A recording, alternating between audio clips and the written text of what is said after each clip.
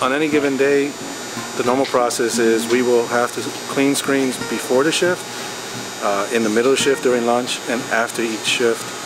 Um, there are times that during the run we will have to stop and go in there and clean the screens based on too much wrappage and it's shutting us down.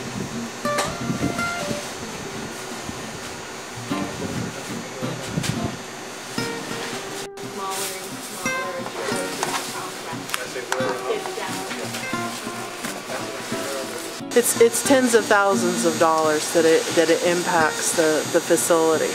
And therefore it impacts the, um, the recyclables and, and the, um, the collection process.